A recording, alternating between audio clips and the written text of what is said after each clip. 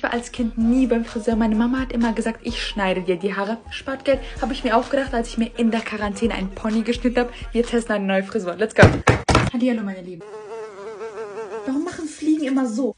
Über was freuen die sich? Ich frage mich jeden Tag, soll ich meine Haare waschen oder soll ich einfach einen Zopf machen? Die, An Ach, meine. Die Antwort ist immer Zopf. Cool. Immer wenn ich Ohrringe trage, ich habe Angst, hängen zu bleiben und mir die Ohrläppchen so rauszureißen. Ich habe einmal so ein Video gesehen, wo ein Kind seiner Mama die Ohrringe rausgerissen hat.